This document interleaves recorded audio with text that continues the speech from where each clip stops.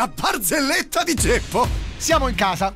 Se spalanca la porta, rientra la moglie, carica de pacchi, de buste, no? E ridendo va dal marito e fa così: Tesoro, non puoi capire. Stavo facendo un po' di compere, no? Quando mi sono accorta che ho finito i soldi. che ho fatto? Sono venuta nel tuo ufficio, ma dato che non c'eri, ho preso da sola 500 euro dal cassetto dalla cassa. Non ti dispiace, vero? E il marito fa: No, no, figurate, è più del mese che ho cambiato ufficio. Sveglia dei gladiatori. Dimensione Suono Roma. Il ritmo della capitale.